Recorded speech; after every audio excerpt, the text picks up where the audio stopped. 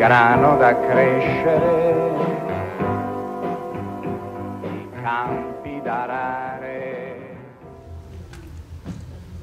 Il fascino, diciamo un po' macabro, che mi si attribuisce, è legato, ahimè, sempre e solo a quella notte. Tutti ipotizzano, teorizzano, calcolano, cercano collegamenti, cercano colpevoli. La verità è che io non vengo mai ricordato o rimpianto come chi non è stato amato abbastanza.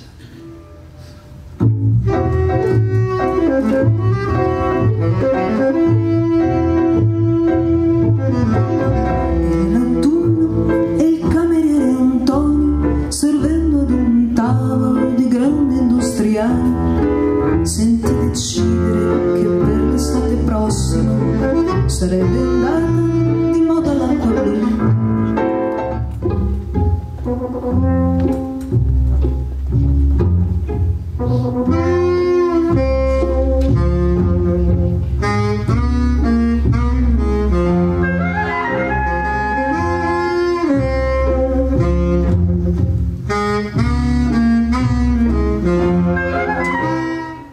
Ora dicono che ero un poeta.